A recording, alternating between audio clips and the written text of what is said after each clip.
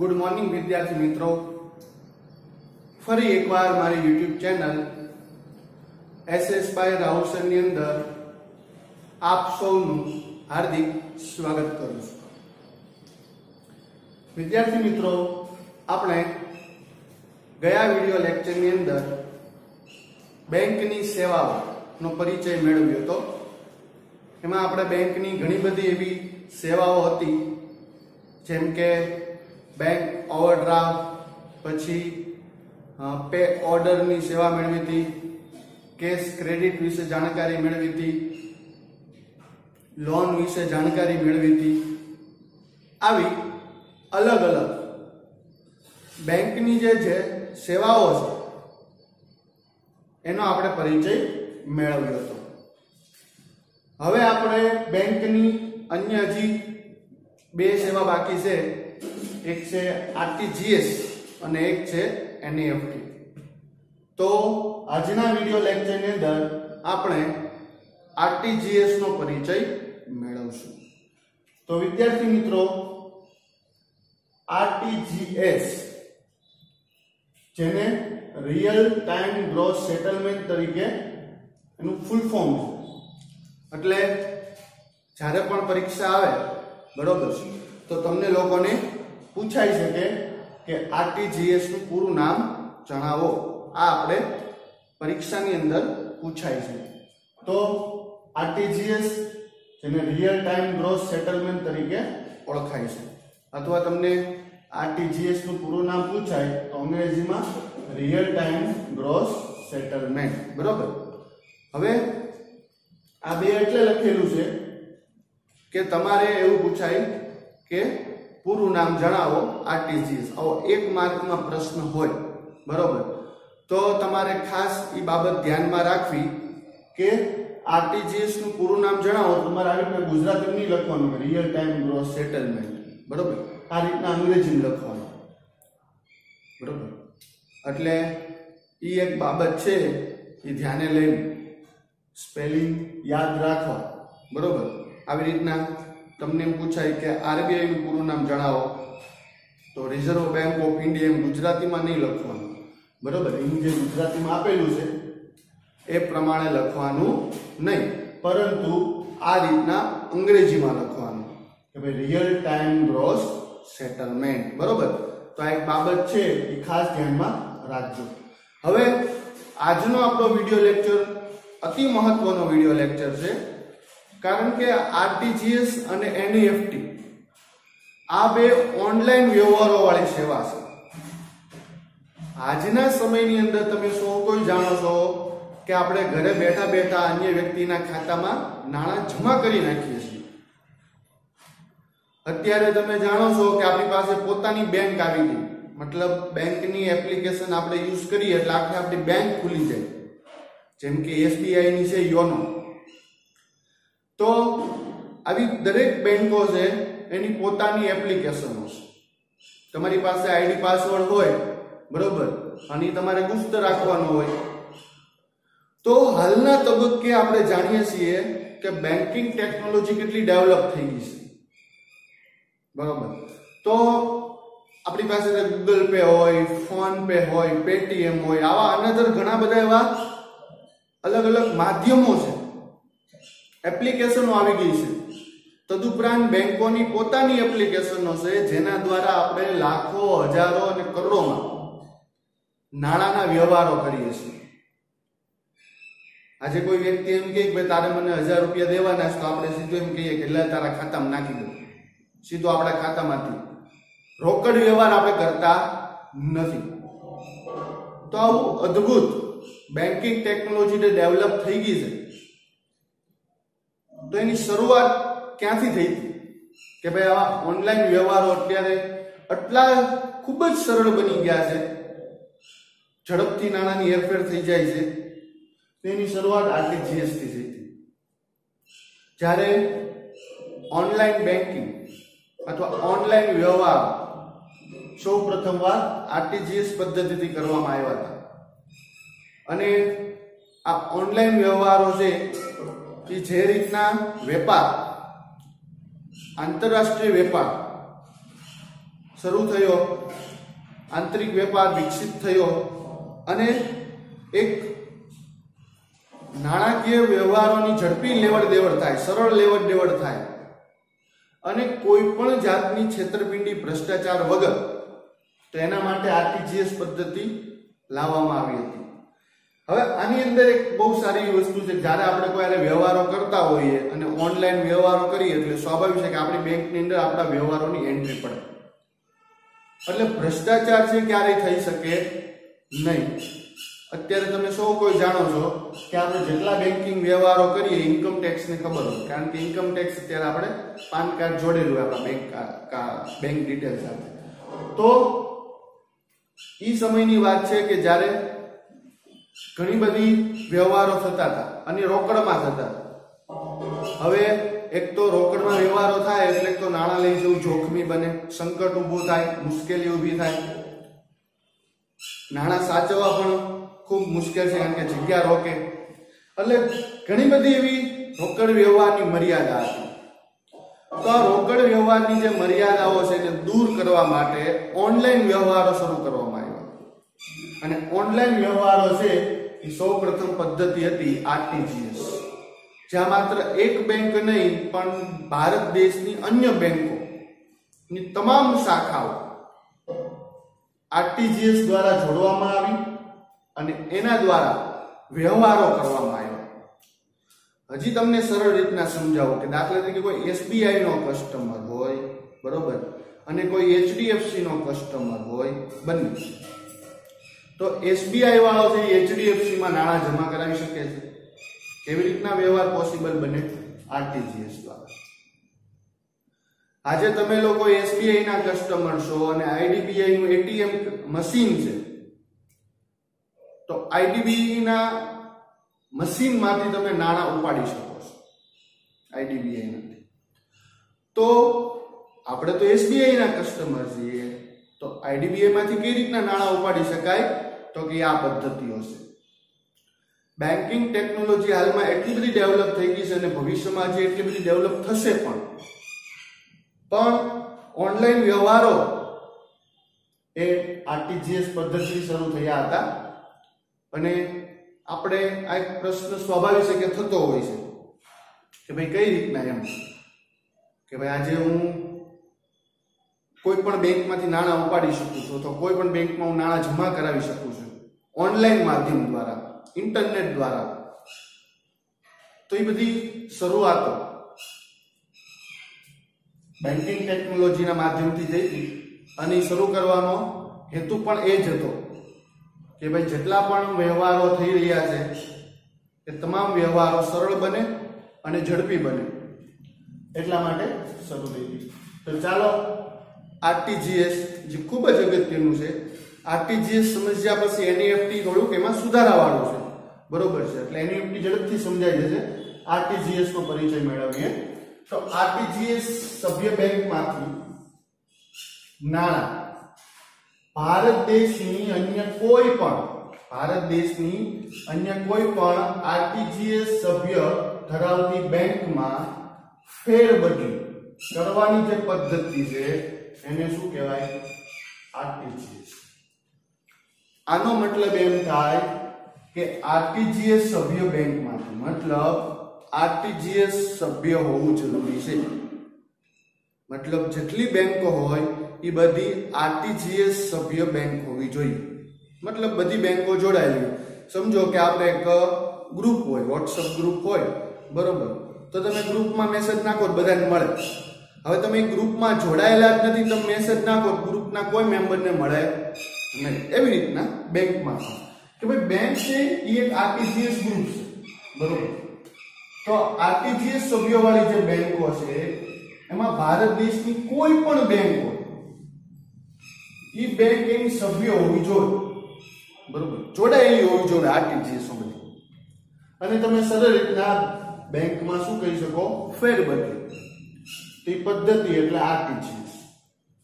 મતલબ દરેક બેંકો જોડાયેલી જ હોય, પણ આપણે સૌ કોઈ જાણીએ છીએ કે જાહેર ક્ષેત્રની બેંકો અને ખાનગી ક્ષેત્રની બેંકો હોય. એટલે ઘણી બેંકો જોડાય, ઘણી બેંકો ન પણ જોડાય એવું બની શકે. તો આની એક મર્યાદા એ છે કે જો આરટીજીએસ સભ્ય બેંક ના હોય, તો નાણાંની લેવડ દેવડ ના થાય. નાણાંની લેવડ દેવડ કરવા માટે આરટીજીએસ સભ્ય બેંક હોવું જરૂરી છે. જો એ સભ્ય બેંક હોય તો આરામથી, સરળ અને ઝડપી નાણાંના વ્યવહારો કરી શકાય છે. બરોબર. હવે આપણને ખબર કેમ પડે કે ભાઈ આરટીજીએસ સભ્ય બેંક છે? કેવી રીતે આપણને ખબર પડે કે ભાઈ આ બેંક આરટીજીએસ સભ્ય છે? તો કે બેંક, આરટીજીએસ સભ્ય બેંકની જે ઓળખ છે, ઓળખ એ આઈએફએસસી કોડથી થાય. શેનથી થાય? આરટીજીએસ સભ્ય ધરાવતી બેંકની ઓળખ આઈએફએસસી કોડથી થાય છે. મતલબ તમને જો કોઈ બેંક પાસે આઈએફએસસી કોડ હોય, તો એનો મતલબ એમ કે કઈ બેંક હશે? આરટીજીએસ સભ્ય બેંક. એ પણ જરૂરી છે કે ખબર કેમ પડે? કે ભાઈ, આ બેંક આરટીજીએસ સભ્ય બેંક છે. તો કે એની ઓળખ છે એ આઈએફએસસી કોડથી કરવામાં આવે છે. એટલે તમને ખબર પડી જાય કે આ બેંક આઈએફએસસી કોડ છે એની પાસે, એટલે આરટીજીએસ ધરાવતી બેંક હશે. એ તમને ઝડપથી ખ્યાલ આવી જાય. એટલે એના માટે આઈએફએસસી કોડ હોવો જરૂરી છે. બરોબર? તો આ ઝડપથી અને સરળ સમજાઈ જવું કે ભાઈ આરટીજીએસ સભ્યો બેંકો જ નાણાંની ફેરબદલી કરી શકે. આરટીજીએસ સભ્ય બેંકની ઓળખ કઈ રીતના થાય? આઈએફએસસી કોડ દ્વારા એની ઓળખ થાય છે. આગળ જોઈએ કે ભાઈ 11 ડિજિટનો આલ્ફા ન્યુમેરિક સ્વરૂપમાં હોય. હવે આપણે વાત કરીએ કે આઈએફએસસી કોડ કેવો હોય? બરોબર. તો આઈએફએસસી કોડ છે એ 11 ડિજિટનો આલ્ફા ન્યુમેરિક સ્વરૂપમાં હોય છે. મતલબ આઈએફએસસી કોડ કેટલા આંકડાનો હોય? 11 11 ડિજિટનો હોય. આઈએફએસસી કોડ 11 ડિજિટનો હોય. આ આપણે એમસીક્યુ ની અંદર કેટલી વાર પૂછાય છે? અથવા તમે ભવિષ્યની અંદર બેંકની એક્ઝામ આપશો તો પણ મોસ્ટ આઈએમપી સ્પર્ધાત્મક પરીક્ષા માટે પણ આઈએમપી આપણી જાણકારી માટે પણ આઈએમપી અને આપણી શાળાની પરીક્ષા માટે પણ આઈએમપી કે ભાઈ આઈએફએસસી કોડ કેટલા ડિજિટનો હોય? તો કે આઈએફએસસી કોડ 11 ડિજિટનો હોય છે. 11 ભૂલાવું જોઈએ નહીં. હવે આલ્ફા ન્યુમેરિક આલ્ફા ન્યુમેરિક એટલે? તો કે આલ્ફા એટલે આલ્ફાબેટ. બરોબર. મતલબ એબીસીડી હોય એમાં. અને ન્યુમેરિક એટલે આંકડા હોય કે એમાં આંકડા પણ હોય અને આલ્ફાબેટ પણ હોય. એવા સ્વરૂપમાં હોય છે. તો તમને હું એક શિવાજી સર્કલ શાખાનો આપું જે મારી બેન છે. બરોબર. શિવાજી સર્કલની એસપીઆઈ નો તમને હું આઈએફએસસી કોડ આપું. તો જો એનો આમ છે. S B I N double zero તેર ત્રેપન નવ. એક, બે, ત્રણ, ચાર, પાંચ, છ, સાત, આઠ, નવ, દસ, અગિયાર. થઈ ગયો અગિયાર આંકડાનો તો આ જો આલ્ફાબેટ છે એસબીઆઈ એમ અને આ આ છે ન્યુમેરિક. Alpha numeric. તો એસબીઆઈ એમ ડબલ ઝીરો, તેર, ત્રેપન, નવ. તો ટોટલ તમે જુઓ તો અગિયાર આંકડા થશે. તો અગિયાર આંકડાનો શું છે? Alpha numeric code. બરોબર છે? હવે એસબીઆઈ એન ડબલ ઝીરો તેર ત્રેપન નવ એટલે કે અગિયાર ડિજિટનો આલ્ફા ન્યુમેરિક સ્વરૂપમાં આઈએફએસસી કોડ આરટીજીએસ સભ્ય બેંકનો તમને જોવા મળશે. બરોબર? આ બાબત તમે જોઈ. હવે આગળ વાત કરીએ. તો આઈએફએસસી કોડ કોણ આપે? પહેલા તો કે આરટીજીએસ બેંકની ઓળખ કઈ રીતના થાય? તો કે આઈએફએસસી કોડથી હવે આઈએફએસસી કોડ કોણ આપે? આ જેટલી બેંકો છે બરોબર? એને આઈએફએસસી કોડ આપે કોણ? આરબીઆઈ તો કે ના. દરેક બેંકોને IFSC code IDR BT IDR BT કે જે હૈદરાબાદની અંદર આવેલી છે. બરોબર? એના દ્વારા ફાળવવામાં આવે છે. બરોબર? આઈટીઆર બીટી મતલબ કે institution for development and research on banking technology હવે તમને પરીક્ષાની અંદર આ પણ અગત્યની બાબત છે કે તમને પરીક્ષાની અંદર પૂછાઈ શકે છે કે આઈડીઆર બીટી નું ફૂલ ફોર્મ જણાવો. તો institution for development and research on banking technology આ લખી લેજો. બરોબર છે?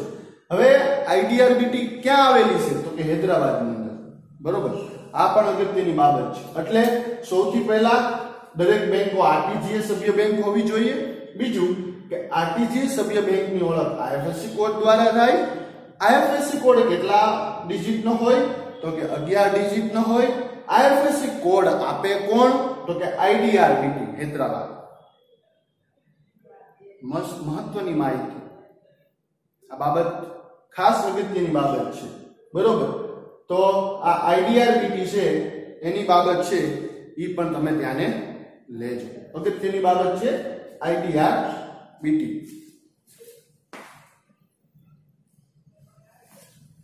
ચાલો, તો આઈડીઆરબીટી ની વાત કરી. હવે રિયલ ટાઈમ ગ્રોસ સેટલમેન્ટ એટલે શું? આ રિયલ ટાઈમ અને gross settlement real time gross settlement એટલે શું? બરોબર છે? તો વાત કરીએ આપણે કે ભાઈ રિયલ ટાઈમ રિયલ ટાઈમ એટલે કે તે જ સમય રિયલ ટાઈમ નો મતલબ શું થાય? તે જ સમય, અને ગ્રોસ સેટલમેન્ટ એટલે વ્યવહારો પ્રમાણે જમા કે ઉધાર થાય અને આરટીજીએસ કહેવાય. મતલબ તે જ સમયે નાણાં જમા કરી દેવામાં આવે. એનો મતલબ એમ કે આરટીજીએસ એટલે રિયલ ટાઈમ રિયલ ટાઈમ એટલે તે જ સમયે, મતલબ જે દિવસે આપણે નાણાં જમા કર્યા હોય એ જ દિવસે અને ગ્રોસ સેટલમેન્ટ ગ્રોસ સેટલમેન્ટ નો મતલબ શું થાય? તો કે વ્યવહારો પ્રમાણે જમા કે ઉધાર થાય. મતલબ વ્યવહારો પ્રમાણે જમા કે ઉધાર. ફોર એક્ઝામ્પલ હું ગ્રાહક છું. અને મારે કોઈના ખાતામાં નાણાં જમા કરવાના છે. તો મારા ખાતામાંથી નાણાં ઉધાર થાય અને સામેવાળાના ખાતામાં નાણાં જમા થાય. તો જમા કે ઉધાર થાય એને ગ્રોસ સેટલમેન્ટ કહેવાય અને રિયલ ટાઈમ એટલે તે જ સમય. બરોબર. તો આ રિયલ ટાઈમ ગ્રોસ સેટલમેન્ટનો અર્થ છે. એટલે આ પણ બાબત એક અગત્યની છે. એક વાક્યની અંદર અગત્યની બાબત છે. તો આ બાબત પણ ભૂલતા નહીં. હવે આની અંદર એક મહત્વપૂર્ણ બાબત છે. બરોબર છે. એ તમે ભૂલતા નહીં. રિયલ ટાઈમ વાળી જે બાબત છે, એ અગત્યની છે અને ભૂલાવી જોઈએ. નહીં, કે રિયલ ટાઈમની અંદર રોકડ વ્યવહાર કરવામાં આવતો નથી. Very very most time online વ્યવહાર જ થાય છે. રોકડ વ્યવહાર ને સરળ બનાવવા રોકડ વ્યવહારની મર્યાદાને દૂર કરવા. અને વ્યવહારને ઝડપી બનાવવા માટે ઓનલાઈન વ્યવહાર આવ્યા હતા. એટલે ઓનલાઈન વ્યવહાર માટે જ આ વસ્તુ બનાવવામાં આવી છે, જે સરળ અને ઝડપી છે અને રોકડ વ્યવહારોની મર્યાદાને દૂર કરે છે. તો આરટીજીએસ પદ્ધતિની અંદર નાણાંની ફેરબદલીમાં રોકડ વ્યવહાર કરવામાં આવતો નથી. આ પણ એક અગત્યની બાબત છે, આ પણ બાબત ધ્યાનમાં રાખજો. તો આરટીજીએસ ને આપણે ઘણી બધી બાબતની જાણકારી મેળવી, તો આરટીજીએસમાં રોકડ વ્યવહાર કરવામાં આવતો નથી. બરોબર? હવે વાત કરીએ આગળ કે ગ્રાહક અને લાભાર્થી બંનેના બેંકમાં ખાતા હોવા જોઈએ. આરટીજીએસની એક મહત્વપૂર્ણ બાબત છે. દાખલા તરીકે, એ નામનો વ્યક્તિ બી નામના વ્યક્તિને પૈસા મોકલવા છે. હવે એને આરટીજીએસ દ્વારા ઓનલાઈન વ્યવહાર કરવો છે. હવે બી નામના વ્યક્તિ પાસે એકાઉન્ટ જ નથી. મતલબ બી નામના વ્યક્તિ પાસે કોઈ બેંકની અંદર એકાઉન્ટ નથી. હવે એ નામના વ્યક્તિ પાસે આરટીજીએસ સભ્ય બેંક વાળું એકાઉન્ટ છે. એની બેંકમાં આઈએફએસસી કોડ છે. તો હવે એ નામના વ્યક્તિએ બી નામના વ્યક્તિને ઓનલાઈન વ્યવહાર કરવો હોય તો થાય? ન થાય. કારણ બી નામના વ્યક્તિ પાસે ખાતું નથી. મતલબ એકાઉન્ટ ન હોય. તો નથી પછી કોઈ પણ એકાઉન્ટ હોય, ચાલે સેવિંગ એકાઉન્ટ હોય કરંટ એકાઉન્ટ હોય ફિક્સ ડિપોઝિટ એકાઉન્ટ હોય, કોઈ પણ એકાઉન્ટ હોવું જોઈએ હવે અહીં તો એવું છે કે ભાઈ જે બી નામનો વ્યક્તિ છે, એની પાસે કોઈ પણ પ્રકારનું ખાતું નથી.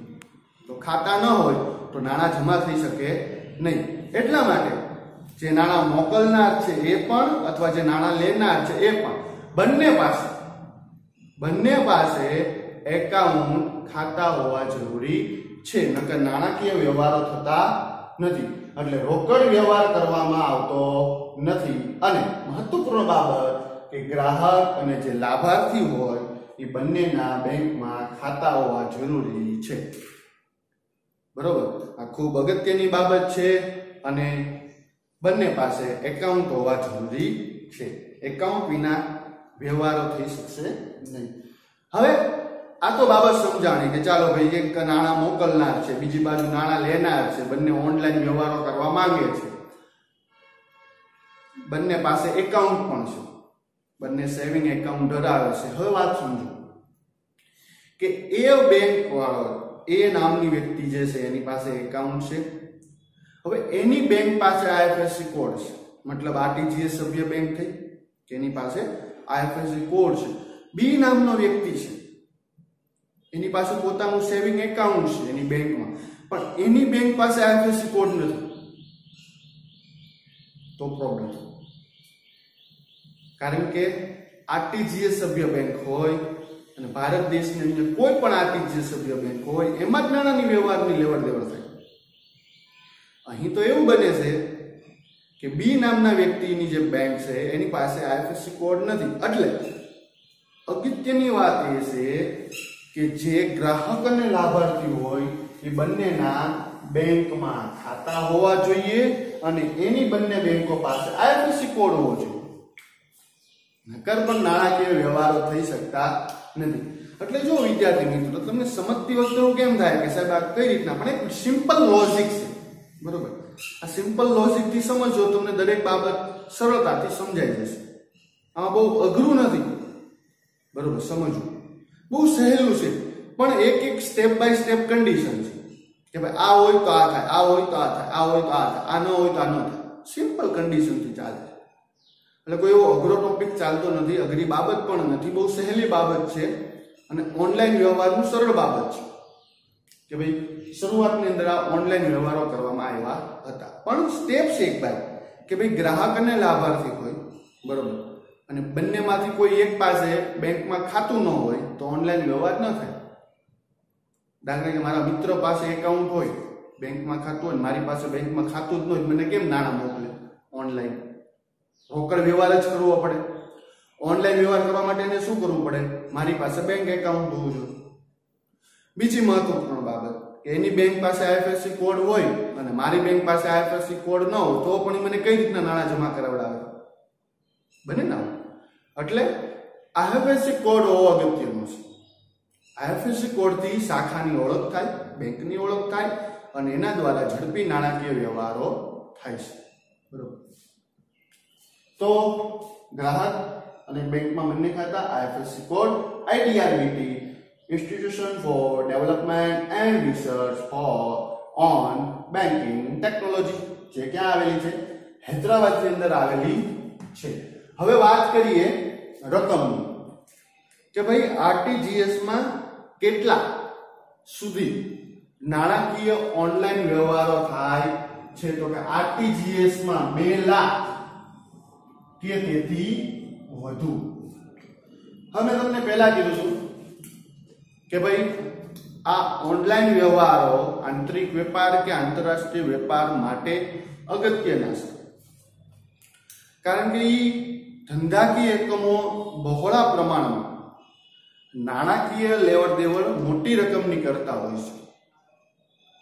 અને એમના માટે આ વસ્તુ છે એ તૈયાર કરવાની હોય છે. એટલા માટે આરટીજીએસ પદ્ધતિની અંદર જો નાણાકીય રકમની વાત કરવામાં આવે તો આરટીજીએસની અંદર બે લાખ કેટલા? બે લાખ અથવા તેથી વધુ. મતલબ બે લાખ સુધી અથવા એનાથી વધારે રકમની લેવડ દેવડ થાય છે. બરોબર? મિનિમમ બે લાખ.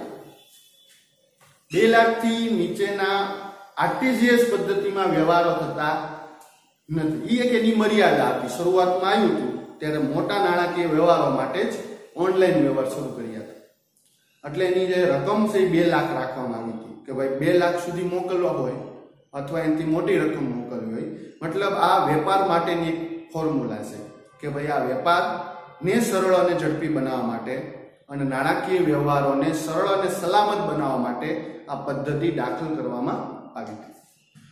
તો મહત્વપૂર્ણ બાબત એ છે કે આ પદ્ધતિની અંદર બે લાખ કે તેથી વધુની રકમ જમા કરવામાં આવે છે, એ અગત્યની બાબત છે. હવે, દાખલા તરીકે હું એક વ્યક્તિ છું. હવે મારે અન્ય વ્યક્તિને નાણાં મોકલવા છે, તો સમય કેટલો લાગે? મતલબ ટાઈમ તો જોઈએ ને કે ભાઈ કેટલી વારમાં એને નાણાં પહોંચી જશે? તો કે આરટીજીએસ પદ્ધતિની અંદર જે દિવસે જમા કરવામાં આવે, તે જ દિવસે, જે દિવસે જમા થાય, એ જ દિવસે જે ગ્રાહકે મોકલ્યા હોય એનામાં ઉધાર થઈ જાય અને જે વ્યક્તિને આપણે મોકલ્યા હોય એનામાં જમા થઈ જાય. મતલબ રિયલ ટાઈમ જે દિવસે આપણે જેને નાણાં મોકલ્યા હોય એ જ દિવસે એને નાણાં જમા થઈ જાય. રિયલ ટાઈમ તે જ સમય. મતલબ અહીં સમય મર્યાદા બહુ ઓછી છે. ટૂંકા ગાળાની અંદર ઝડપથી, સરળ, સલામત એક વ્યક્તિના ખાતામાંથી બીજી વ્યક્તિના ખાતામાં નાણાં જમા થઈ જાય છે. એટલે જે દિવસે આપણે નાણાં જમા કરાયા હોય, એ જ દિવસે ગ્રાહકમાં કેવા થઈ જાય? ઉધાર થઈ જાય. અને જે વ્યક્તિને આપણે નાણાં મોકલ્યા હોય, એમાં નાણાં જમા કરી દેવામાં આવે છે. તો આ રીતના પદ્ધતિમાં કરવામાં આવે છે. હવે મહત્વપૂર્ણ બાબત કે જે વ્યક્તિએ નાણાં મોકલ્યા હોય, બરોબર, એની પાસેથી કમિશન લેવામાં આવે છે. હવે જેણે કરેલું છે. મતલબ દાખલા કે હું કોઈ વ્યક્તિને નાણાં મોકલું છું, તો હું નાણાં મોકલનાર છું. તો મારી પાસેથી બેંક કમિશન લે. મતલબ બેંક ચાર્જીસ લાગે. બેંક કમિશન એટલે બેંક ચાર્જીસ લાગે. ફ્રીમાં ન થાય. જે અત્યારે ફ્રીમાં થાય છે, બરોબર છે? એ તો અત્યારે એટલું ડેવલપમેન્ટ થઈ ગયું. આપણે ચોપડી થોડી જૂની ભણીએ છીએ. એટલે જૂના પદ્ધતિઓ બધી ભણીએ છીએ. તો એમાં નિયમ અલગ હતા. તમે અત્યારે વિચારો કે અત્યારે કોઈ ચાર્જીસ લાગતા નથી. અમુક પછી ચાર્જીસ શરૂ થઈ જાય છે. આ શરૂઆતની વાત છે. જ્યારે આરટીજીએસ આવ્યું હતું, તો ત્યારે જે વ્યક્તિ નાણાં મોકલનાર હોય, જેના નાણાં મોકલવાના છે, બરોબર, એને કમિશન આપવું પડે. મતલબ બેંક ચાર્જીસ દેવા પડે. કારણ કે બેંક આવી એક સેવા આપે છે, તો બદલામાં અમુક ચાર્જીસ લઈશ એટલે જે વ્યક્તિ હોય એ નાણાં મોકલનાર હોય, એની પાસેથી શું લેવામાં આવે છે? કમિશન લેવામાં આવે છે. બરોબર. પણ મહત્વપૂર્ણ બાબત કે નાણાં લેનાર, એટલે ઇનવર્ડ આરટીજીએસ જે વ્યક્તિ હોય, બરોબર, જેને નાણાં લેવાના છે, એની પાસેથી બેંક કોઈ પ્રકારનું કમિશન વસૂલ કરતી નથી. એ પણ એક અગત્યની બાબત છે. એટલે જે નાણાં મોકલતા હોય, એને કમિશન ચૂકવવું પડતું હોય છે.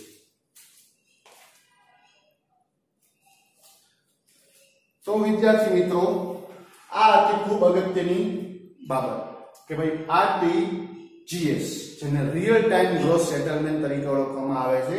આઈ હોપ કે તમને સરળ અને સમજૂતી, સરળ સમજૂતીથી આ બાબત સમજાઈ ગઈ હશે. બરોબર? હજી એકવાર ન સમજાણી તો એકવાર વીડિયો જુઓ. કારણ કે જો તમને આરટીજીએસ સરળ રીતના સમજાઈ જશે, તો એનએફએસ એનઈએફટી જે આની પછીનો ટોપિક છે, એ ખૂબ સરળથી સમજાશે. કારણ કે સરળ ટોપિક છે, આ સમજ્યા પછી. બરોબર? કારણ કે આની અમુક મર્યાદાઓ હતી, આની અમુક ખામીઓ હતી, એને દૂર કરીને એનઈએફટી છે એ આવેલું છે. તો ફરીવાર આપણે સમજી લઈએ કે ભાઈ આરટીજીએસ તો કે રિયલ ટાઈમ ગ્રોસ સેટલમેન્ટ આરટીજીએસમાં વ્યવહારો કેમ થાય? તો કે દરેક બેંકો આરટીજીએસ સભ્ય બેંક જોઈએ અને જેને તમે જે નાણાં લેનાર છે, એની પણ આરટીજીએસ સભ્ય બેંક હોવી જોઈએ. આરટીજીએસ સભ્ય બેંક છે કે નહીં એની કઈ રીતે ખબર પડે? તો કે આઈએફએસસી કોડ દ્વારા. તો આઈએફએસસી કોડ કેટલા ડિજિટનો હોય? તો કે 11 ડિજિટનો. કેવી રીતના હોય? તો કે આલ્ફા ન્યુમેરિકમાં હોય. હવે આઈએફએસસી કોડ આપે કોણ? તો કે આઈડીઆરબીટી, જે હૈદરાબાદમાં આવેલી. આઈડીઆરબીટી નું ફૂલ ફોર્મ શું? તો કે institution for development and research on banking technology ક્યાં આવેલી છે? હૈદરાબાદની અંદર. રિયલ ટાઈમ ગ્રોસ સેટલમેન્ટનો અર્થ શું થાય? તો કે રિયલ ટાઈમ એટલે તે જ સમયે. ગ્રોસ સેટલમેન્ટ એટલે શું? તો કે વ્યવહારો પ્રમાણે જમા કે ઉધાર થાય. એને શું કહેવાય? આરટીજીએસ થાય. આરટીજીએસની અગત્યની બાબત પણ રોકડ વ્યવહાર કરવામાં આવતો નથી. કારણ કે આરટીજીએસ નો ઉદ્ભવ ઓનલાઈન વ્યવહાર માટે થયો.